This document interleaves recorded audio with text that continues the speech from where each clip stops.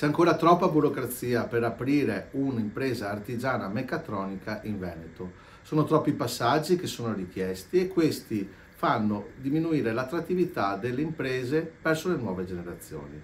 ed è importante semplificare gli aspetti burocratici, snellire le norme di settore e fare in modo che da questo punto di vista ci sia più attenzione a questo comparto, che è un comparto importante perché sta vivendo una fase di transizione legata anche all'evoluzione del settore automotive e che consente di dare un campo molto rilevante anche alle evoluzioni del Made in Italy